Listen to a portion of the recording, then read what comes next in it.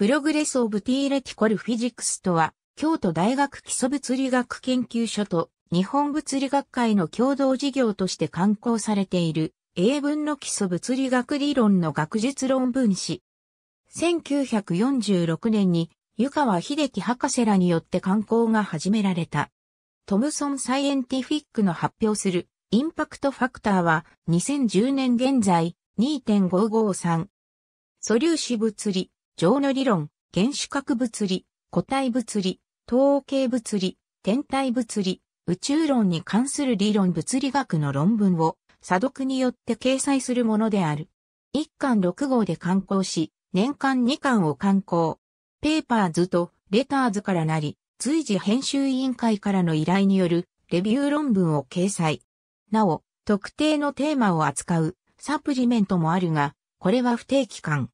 これは基礎物理学研究所主催の国際会議のプロシーディングなどを掲載。PTP への投稿は2008年9月1日付でオンラインベースになった。査読等についてもすべてウェブベースで行っている。創刊号からの論文アーカイブ PTP オンラインは日本物理学会と応用物理学会共同の発行機関である物理系学術史観光センターのシステムを利用している。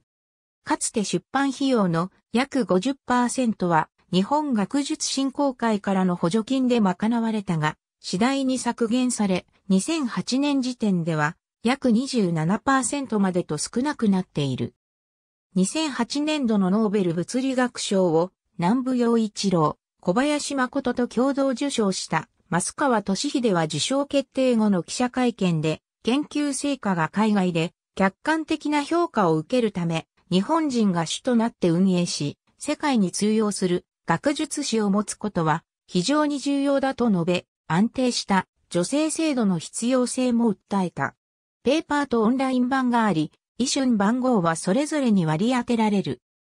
PTP の刊行は2012年12月で終了。刊行元が理論物理学刊行会から日本物理学会に引き継がれ、2013年より理論物理分野に加えて高エネルギー、原子核、宇宙線宇宙物理、ビーム物理分野の実験を含めた Progress of Theoretical and Experimental Physics が後継誌として創刊される予定である。ありがとうございます。